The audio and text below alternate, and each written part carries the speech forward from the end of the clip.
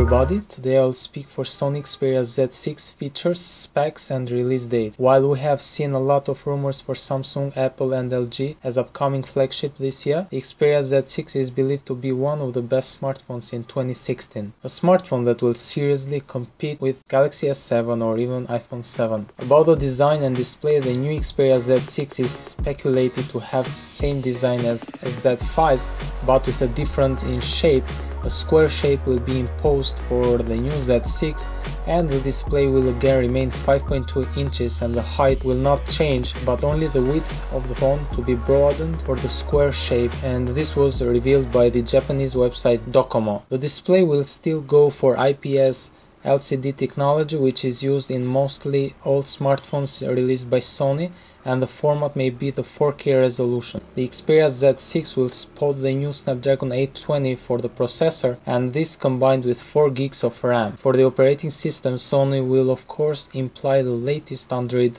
upgrade the 6.0 Marshmallow and for the internal memory the Xperia Z6 will come slightly different in three formats 32 gigs, 64 and 128 gigs. About the camera, the Sony has always impressed when it comes to high megapixel, so meanwhile they have developed a new sensor for their camera to shoot better in night and daily pictures named IMX318 sensor. So the Xperia Z6 will have a 23 megapixel rear camera which will be able so to record 4K in 30 fps. About the battery, the Sony Xperia Z6 will be around close to 3200 mAh battery capacity which is huge and will outperform its predecessor, the Xperia Z5, lasting longer. About the release date, the Sony Xperia Z6 flagship will certainly not launch this Mobile World Congress, which takes place in March, but instead will be launched during the IFA which takes place in Berlin during September. And this is the end of this video guys, subscribe for more rumors and like the video, also share it if you like it.